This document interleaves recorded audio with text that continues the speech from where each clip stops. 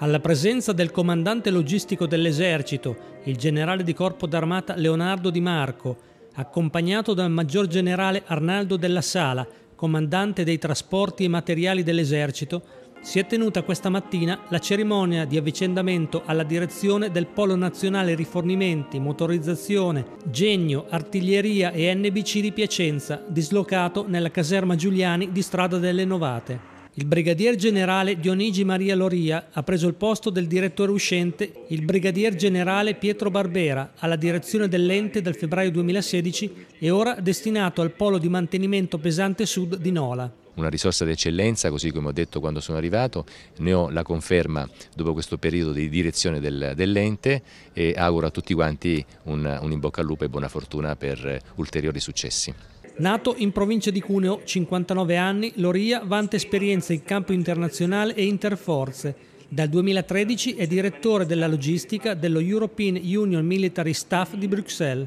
Sono contento di essere qua a Piacenza e il polo è una realtà, come ha detto il generale Barbera, d'eccellenza, del sostegno per sostenere le nostre missioni sia in patria, sul territorio nazionale che all'estero. Le sue attività quali saranno? Le mie attività sarà continuare sulla strada tracciata e quindi cercare di eh, portare avanti l'informatizzazione della logistica e quindi di, di continuare e, e cercare sempre di migliorare grazie anche all'apporto del personale civile di Piacenza che